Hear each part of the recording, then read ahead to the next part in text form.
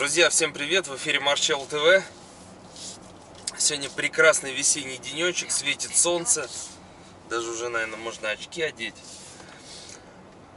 Короче, решил записать такой коротенький видосик. После выхода э, видео на канале про э, Камара, конечно, посыпалось очень много э, комментариев. Э, в личку ребят писали. Говорит, Марат, можно покататься. Друзья, была бы моя машина, может быть, что-то придумали, мы покатались бы. Короче говоря, с одним из, э, скажем, подписчиков, я не знаю, подписчик он или нет, может быть, он просто случайный э, гость на канале, у нас завязался диалог. Э, его смутила фраза, э, которую я обронил в обзоре, что пока машина находится на обкатке, э, к сожалению, там весь потенциал и всю мощь я не раскрывал этого автомобиля, то есть его динамики, как он едет, что это за ощущение, я не могу сказать. Вот. Его, значит, этот э, момент как бы зацепил, что-то ему там резало слух, или он посчитал, что я в корне там не прав, и решил высказать свою точку зрения. А смысл точки зрения таков – Э, я цитирую. Вы, в принципе, это все можете в комментариях прочитать, но я цитирую. Какая нахер обкатка?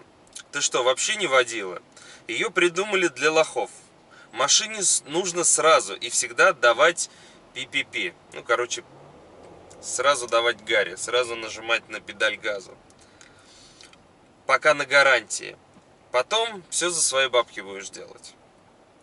Э, мы дальше там вступили в диалог в некий, ничего интересного. Э, дальше человек высказывается, Александр, что нет такого понятия обкатка. Это отголоски прошлого развода сервисов. То есть нас э, раньше разводили сервис или сервисмены. Ну и дальше также мне сказали, что что я не прав, я не прав.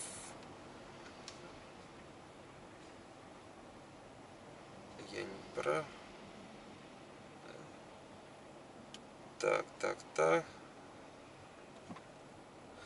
Ну, короче говоря, смысл. Вопрос в следующем, значит, заключается, да, то есть вы можете почитать там переписку, а, как бы смысл такой.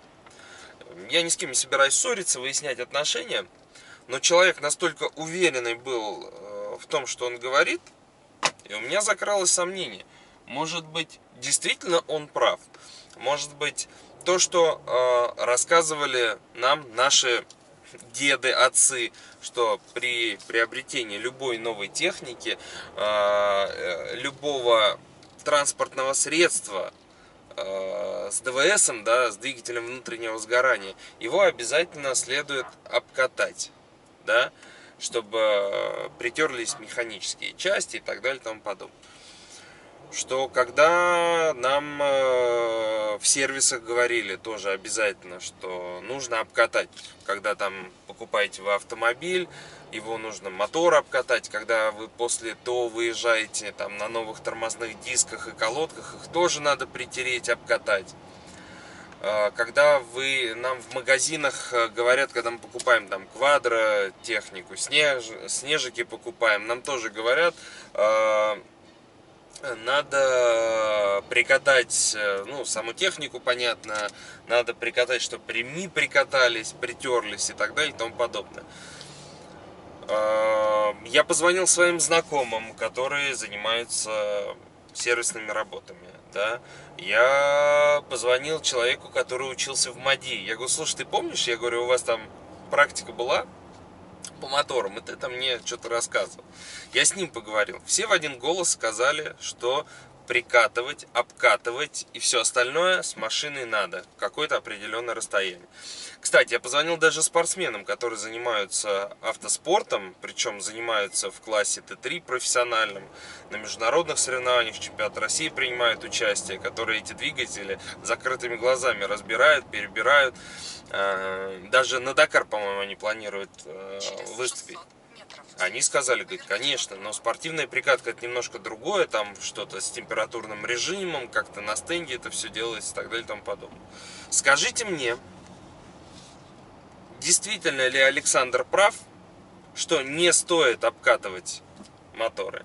Либо все-таки э, прав ну, общая масса, скажем так, людей права, что действительно первые там 500 тысяч километров стоит обкатать мотор и э, как бы более в щадящем режиме ездить без резких ускорений, без больших нагрузок, не таскать на автомобиле за собой прицеп и так далее. Пишите комментарии, делитесь, просто очень такая интересная тема. И мы как бы почитаем, почитаем, я надеюсь, мнение специалистов, потому что я уверен, что среди э, зрителей канала есть э, технически подкованные люди. Всем пока!